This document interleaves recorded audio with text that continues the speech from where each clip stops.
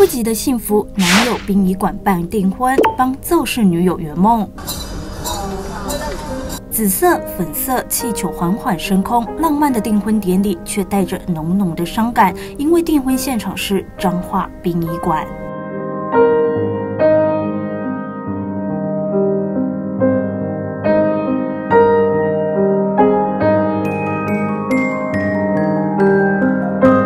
我跟我女朋友原本预计是下个月要订婚，就是已经都说好了。就是不幸的，就是走了，也是要帮她完成她最期待的这个婚礼。三十岁的蔡尚正和怀孕的女友陈怡琪交往五年，眼看幸福就要到手了，没想到上个月一场车祸却让他们天人永隔。为了实现彼此约定，蔡尚正在女友告别式这天，用粉色气球布置灵堂，依循传统古礼，带着戒指聘金到场，为女友披上婚纱。